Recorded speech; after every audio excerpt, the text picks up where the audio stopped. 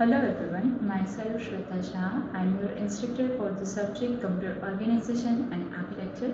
In this subject, we have started Unit 2 that is Basic Computer Organization and Design. And in this, we are going to see today the topic that is Timing and Control. So let me start with the topic Timing and Control.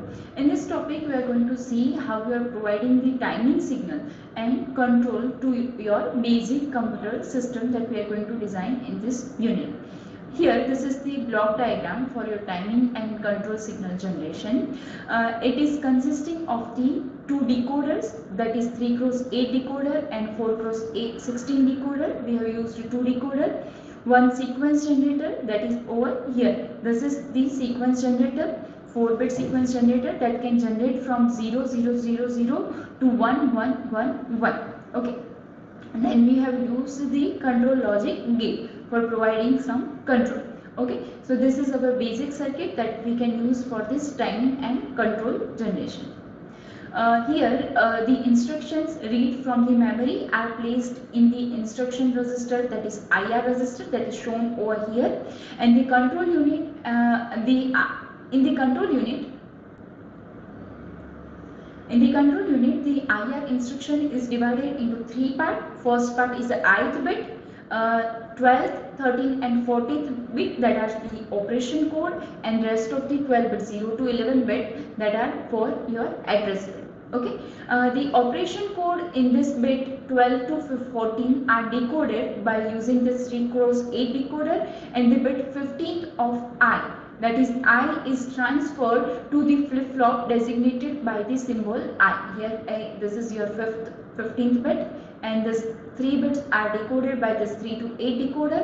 And depending upon the value over here if it is 0 0 0 then first signal will be generated. If it is 0 1 0 then your second signal is generated. If it is 0 1 1 then your sixth signal is generated and so on. So depending upon the input value any of your one control signal is going to be generated from this decoder 3 to 8 okay? This is uh, your in instructions opcode decoding. Okay? Second thing next we will uh, use this 8 output of this decoder are designated by the symbol d0 to d7 so this is d0 d1 d2 d3 and up to d7 and so on these are provided to this control unit. Okay? And this uh, bit 0 to 11 are applied to the control logic gate to provide your address. Okay? Uh, the 4 bit sequence counter can count from 0 to 50 okay? Because it can count up to 0 0 0 0 to 1 1 1 1 okay? And depending upon that the, you can generate total 16 output lines. This because this sequence counters input we are output we are going to uh, we are going to give here over 4 cross 16 decoder. Okay? So here if it is 0 0 0 0 then t0 signal will be generated. If it is 0 1 0 0 then t1 signal. If it is 1 1 0 0 then t2 signal and t3 signal and so on. So your any of one timing signal is generated over here. Here d0 d1 d2 depends and represents your control signal and your t1 t2 t3 T15 represents your timing signal. So you can generate T0 to T15 timing signals. Next, uh, the sequence counter SC can incremented or clear synchronously and most of the time counter is incremented to provide the sequence of timing out of 4 cross 16 decoder and once in while this counter is cleared to 0 causing this next instruction timing signal to start from 0. So you can uh, clear the sequence counter also and when you clear it that means you have started new instruction. For example, let me consider the case where a sequence counter is incremented to provide the timing signal T0, T1, T2, T3 and T5 in signal sequence. And after the T4 signal, that is next signal will be T5. But at the time of T4, the sequence counter is cleared to 0 if the decoder output T3 is activated. And this expression can be represented like this T3, D3, T4. That is your D3 uh, control signal is generated and T4 timing signal is generated. Then at that time you have to clear the sequence counter by 0 that means you can start next instruction.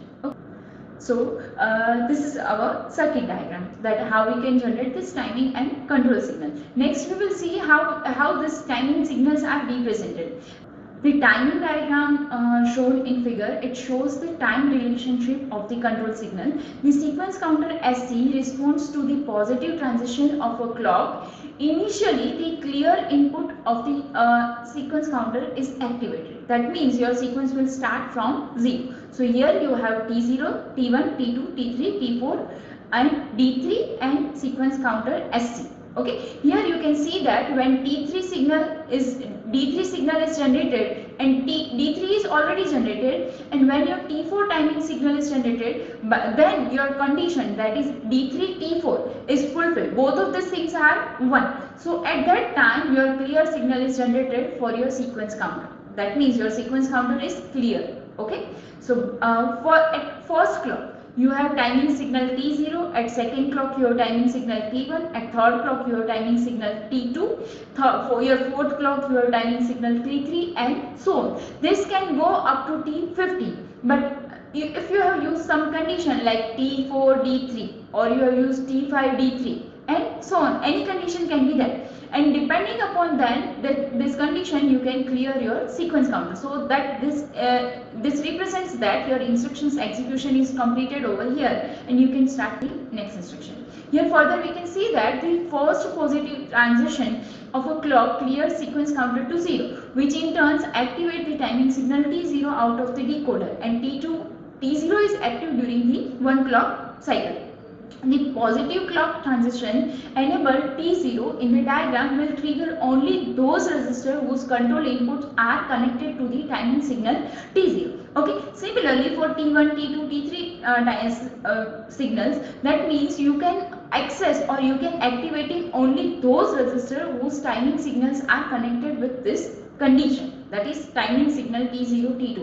You can say that this T0 and D0, D1, D2 and T0, T1, D2, T3 are some condition and by combining this condition you are activating some parts. Okay, uh, the sequence counter is incremented with every positive clock transition unless this clear input is activated. So you have T0, T1, T2, T3 in sequence up to when you got the clear input and that clear for clear input you have used some condition so here the uh, this procedure sequence of timing signal from T0, T1, T2, T3, T4 up to T4 it is going on. If the SE is not clear then it will continue with T5, T6, T7 up to T50 and then it will go to T0. Okay. So maximum you can provide this 16 timing signal that is T0 to T50.